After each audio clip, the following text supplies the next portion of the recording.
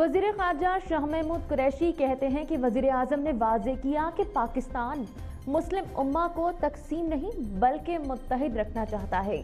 دورے میں ملیشیا کے ساتھ تین معاہدوں پر دستخط ہوئے۔ تجارت اور دفاع کے شعبوں میں تعاون بڑھانے پر بھی بات چیت ہوئی۔ ملیشیا میں بیاسی ہزار پاکستانی افرادی قوت مختلف شعبوں میں کام کر رہی ہے۔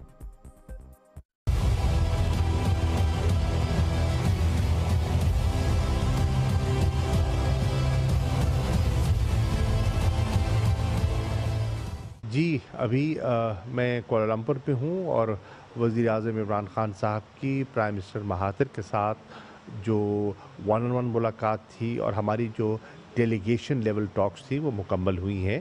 اس کا خلاصہ یہ ہے کہ ہم نے اپنے بائی لیٹرل ریلیشنز کو ڈسکس کیا جو بہت عمدہ تھے، ہیں اور ہم نے اب فیصلہ کیا ہے کہ ہم نے ان عمدہ تعلقات کو ایک اسٹریٹجک اکنامک پارٹنرشپ میں کیسے کنورٹ کرنا ہے، اس پر اچھی گفتگو ہوئی کہ کس طرح ہم آپس میں تعاون کر سکتے ہیں اور ایک دوسرے پر انحصار کر سکتے ہیں۔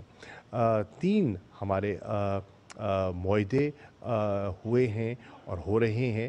دوسری، ہم نے جو سوشل پروٹیکشن ایگریمنٹ کیا ہے، ہمارا تقریباً بیاسی ہزار پاکستانی ہے جو یہاں کام کرتا ہے لیبر کے طور پہ۔